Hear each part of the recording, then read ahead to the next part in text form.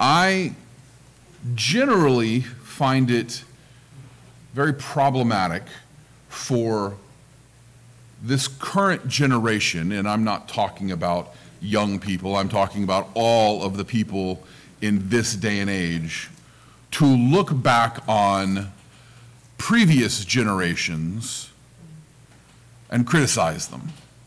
Okay? I think that it is generally inappropriate to apply our mores, our particular um, feelings of the day to people who lived hundreds, if not thousands, of years before us. Right? I think it's pretty vain to stand on a foundation which others made and complain about how they made it. That being said, every now and then, there's something that a group in the past has done that is just, you know, you can you got to say it's just wrong, okay? And I'm to do a little of that today. All right? Now, for those of you who, who haven't been here in a while, we are in week three of our teaching series, our preaching series on uh, living in the Holy Spirit. So today we're going to talk about tongues and prophecies. And I want to start off by talking about this incredible event that happened over 100 years ago. It was 1906 out in California. There was a little church on a street in Los Angeles, and the street was Azusa. It was Azusa Street.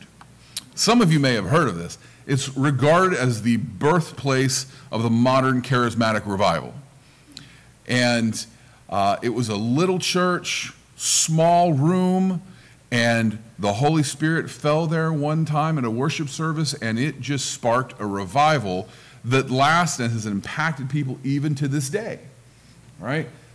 Praise God, they did incredible things. They really heard the Lord, and they were so on fire by the Holy Spirit that that fire caught and it moved not just from this little church in the middle of nowhere. Well, it wasn't middle of nowhere; it was Los Angeles, but it was a it was not a good neighborhood of Los Angeles, and that spread into Catholic churches, Episcopal churches. The assemblies of God had practically formed these movements, right? And so this was an incredibly powerful thing. But there was one thing that I think they really messed up on. And that was one of their like original doctrines was that you had to be uh, born again. You had to give your life over to Christ. Yes, completely agree with that. But they said that when you did so, you would speak in tongues. And that was evidence of your salvation, right? And I want you to get that. They said that you couldn't just say a prayer, call out to Jesus, and be saved. The evidence of your salvation was that you spoke in tongues. Okay? And I have seen this played out in other churches with people who have come here who have had uh, basically church trauma because they went up for prayer, they went up to give their life over to the Lord, they did so, and then somebody said, okay, now speak in tongues. And if you don't, it didn't work, you're not saved. Okay? So this is a deeply troublesome error. Okay? It's led to a lot of people being wounded. And I, I can sit in there, and even though I don't like criticizing previous generations, this was a mistake. Okay? But it's not hard to understand why okay? Because the church in Corinth had the same problem, okay? When St. Paul, probably from Ephesus, wrote his letter, his first letter to the Corinthians, he addressed a bunch of different issues. You know how you get an email from somebody and they're like, hey, here's the thing, blah, great talking to you, bye, right? And you're like, clearly, we only had one thing to discuss, we hit it, and we're good. Well, St. Paul had like seven big issues that he hit. It would have been a bullet pointed email, right? Right? It, it was a, there was a lot of things going on.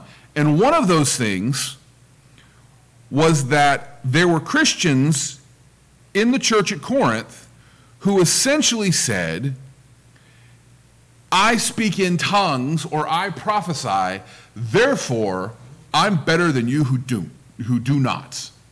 Right? If you don't and I do, I'm better than you are. Ha. Right? Now, this isn't normally talked about in this context, but I want you to follow with me here a couple points. Right? I'm going to start off in 1 Corinthians chapter 12.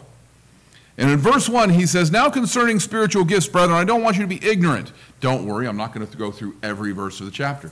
But he says, Look, bullet point four. Now concerning the gifts of the Spirit. Let's talk. And then he says, a little bit later on, he goes through the whole list of all the gifts of the Spirit. He says, But the same one and the same Spirit works all these things, distributing to each one individually as God wills. Right? Doesn't say everybody gets every gift. And then we have a passage starting in verse 12 that talks about the body of Christ and unity and diversity, right? And what he says, cutting it short, is he says, look, we're all part of the same body, but the hand can't look down on the foot because it's not a hand. We have to have feet or we wouldn't be able to walk. We have to have eyes or we wouldn't be able to see. The hand can't fuss at the eye because it doesn't grip, right? Now, obviously, this has lots of implications and lots of, of uh, ways that it applies to the church today. But the way he was talking about it back then was if you have the gift of tongues, you can't look down on somebody who does not. You can't look down on somebody who has healing or just faith, which is another gift of the Spirit, right? He's saying, look, in fact, the body parts that we have that are not quite as public, we actually accord more glory and more modesty. We take care of those parts, right? And he says there should be no schism in the body, but that the members should have the same care for one another. If one member suffers, all members suffer with it. Or if one member is honored, all members rejoice with it. Right? Now, he's talking in this context, he's talking about people who think that they're better than other Christians because of whatever spiritual gift they have, be it prophecy or be it speaking in tongues. Right? He's saying you can't, God forbid, that a member of the church feel like they're being brought down because they don't have the same gift that somebody else does. Right? He says, earnestly desire the best gifts, and yet I'll show you a more excellent way. We're going to talk about that next week. But as we move on to chapter 14, he talks more about tongues and prophecies, and he says, Look, somebody who speaks in tongues edifies himself. Right?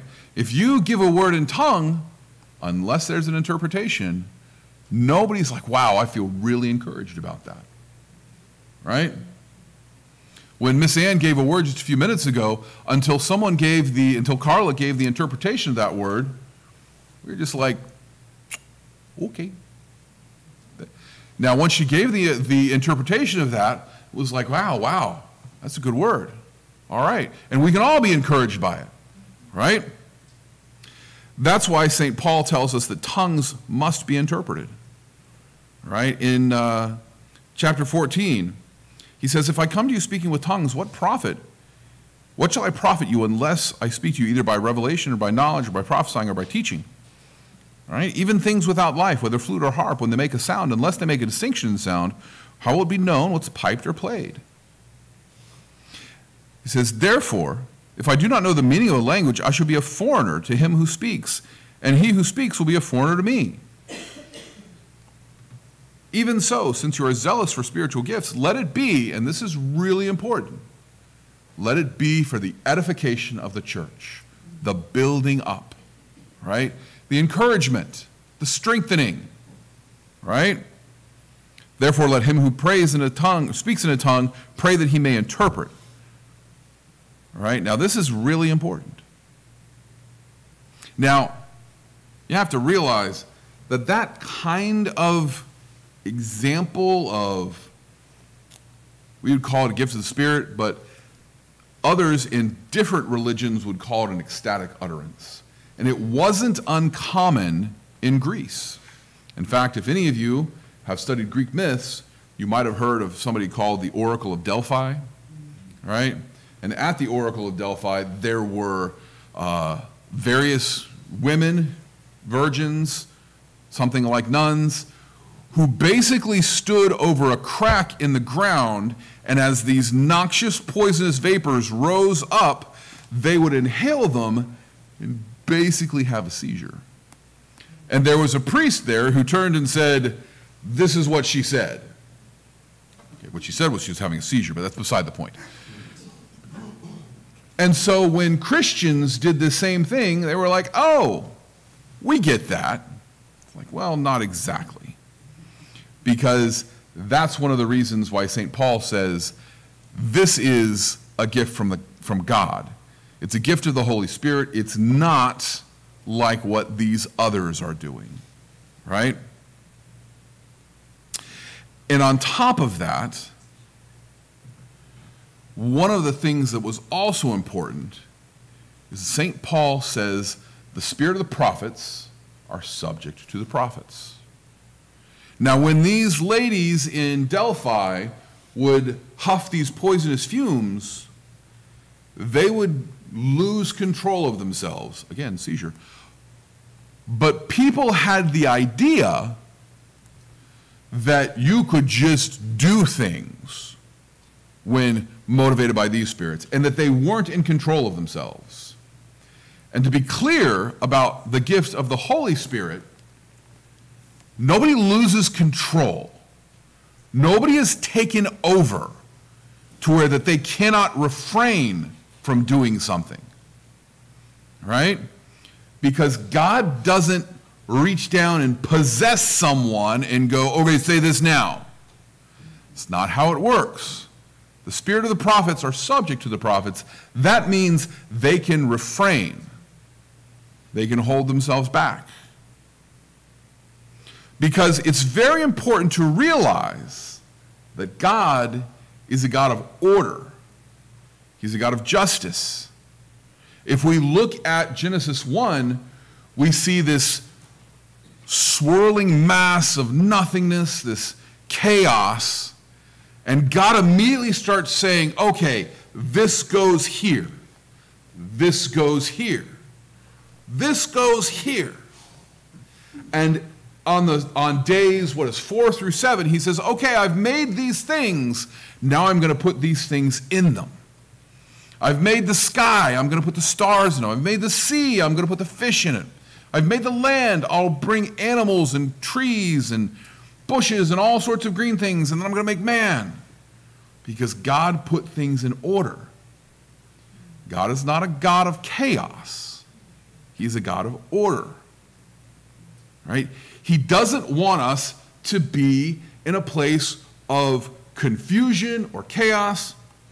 And this is why he warns about tongues and says, Look, therefore, if the whole church comes together in one place and all speak with tongues, and there come those who are uninformed or unbelievers, they will say you're out of your mind. Been there before. Right? When something happens in a church service and everyone's like, you guys are nuts. Right? But that's not what God wants. Because God is God of order. And when everyone is giving a word or prophesying, and that is not order. So St. Paul says, and I'm in verse 26, How is it then, brethren? Whenever you come together, each one has a psalm, has a teaching, has a tongue, has a revelation, has an interpretation. Let all things be done for edification. Again, vocabulary word of the day edification, building up strengthening, encouraging. If there is no interpreter, let him keep silent in the church, and let him speak to God, let him speak to himself and to God. All right, so this is one of those things. Thank God we have people who have the gift of interpretation, so that when somebody gives a word, there's somebody to interpret it. St. Paul says, look, if you don't have somebody who has that gift of interpretation, don't give a word because it brings confusion, right? And then he says, let two or three prophets speak and let the others judge. If anything is revealed to another who sits by, first keep silent. For you all can prophesy one by one, that all may learn and be encouraged. Again, the spirit of the subjects of the spirit of the prophets is subject to the prophets. For God is not the author of confusion, but of peace, as in all the churches. So we have this incredible gift that's been poured out upon us by the Holy Spirit. And that gift is such that by the grace of the Holy Spirit, God gives us an ability to communicate with Him, to speak in the tongues of angels, right? Some people are given those gifts, just as some people are given the gifts of healing. But going back to going back to this unfortunate mistake that we had in previous generations, St. Paul asks, God has appointed these in the church. He says, first apostles, second prophets, third teachers, after that miracles and gifts of healing, helps, administrations, and varieties of tongues. And then he says, Are all apostles? Clearly not. Are all prophets? Also, clearly not. Are all teachers? Clearly not. Are all workers of miracles? Well, of course not. Do all have gifts of healing? No. Do all speak with tongues? No. No. Not all do. He says, but earnestly desire the best gifts. So we all have been given spiritual gifts, but we all have not been given the same gifts. Right? Some have discernment. Some have words of wisdom and words of knowledge. Some have more faith than others. Some are able to interpret tongues, some are able to, to speak in tongues. If you are one who does not speak in tongues and you've asked to do so, God has something else for you. Thanks be to God. We do not all walk the same path, but we all have the same destination. And that is the cross, where we die to self and become more like Jesus. God forbid we should ever condemn a brother or sister in Christ because they don't have the same gifts that we do.